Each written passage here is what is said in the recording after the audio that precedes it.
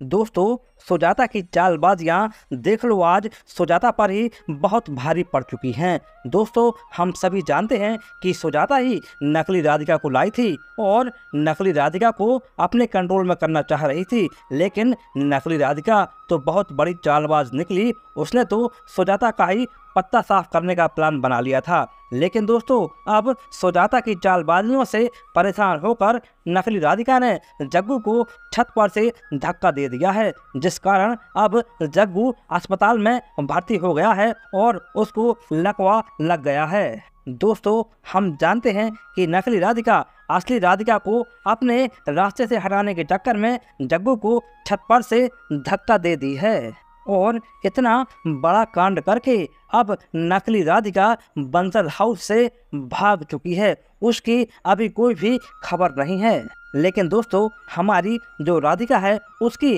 किस्मत ही ऐसी है कि नकली राधिका का इल्ज़ाम भी हमारी प्यारी राधिका पर ही लग गया है।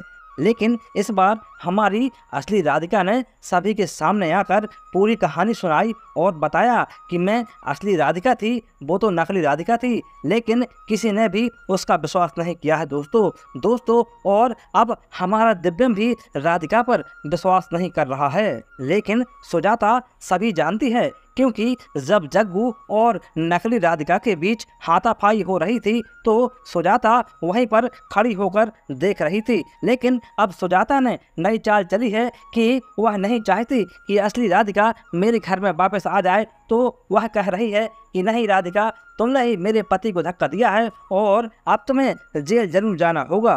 क्योंकि सुजाता चाहती है कि यदि यह राधिका जेल चली जाएगी तो मेरी पोल भी नहीं खुल पाएगी कि मैं ही नकली राधिका को इस घर में लाई थी।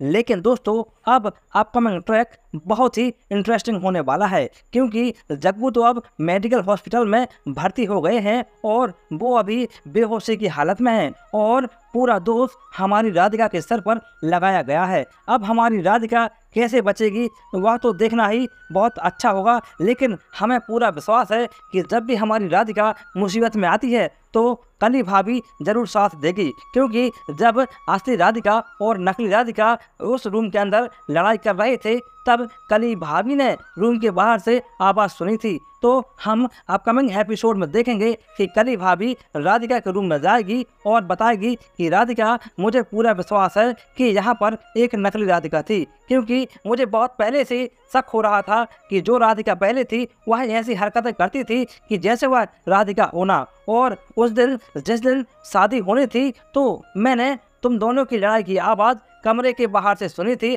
और मुझे पूरा विश्वास है कि तुम राधिका हो और वह नकली राधिका थी। अब कली भाभी और राधिका मिलकर सबसे पहले तो उस नकली राधिका को ढूँढने वाले हैं और साथ में बोलू भैया उसकी सहायता करने वाले हैं और इन सब के बाद अब सुजाता के राज पर जो पर्दा डला है, वह उठ जाएगा। अब जो सुजाता को लग रहा है कि मेरा कुछ नहीं होगा, अब वह बंसर हाउस से ज़रूर बाहर जाने वाली है, वो भी हमेशा हमेशा के लिए। यदि आप चाहते हैं हमारी प्यारी राधिका सुखमा रहे और दिव्यम राधिका की जोड़ी बनी रहे तो आप प्लीज़ वीडियो को लाइक करके, चैनल को सब्सक्राइब करके कमेंट में आई लव राधिका ज़रूर लिख दीजिए।